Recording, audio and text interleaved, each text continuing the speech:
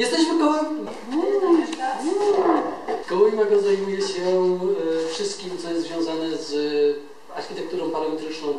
Wystawy, wernisaże, debaty, dyskusje, warsztaty.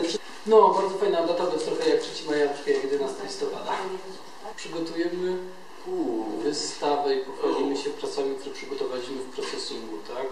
Processing to jest język programowania, ale dla artystów.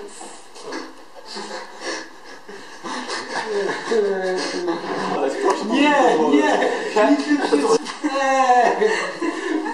Jaja sobie róbcie.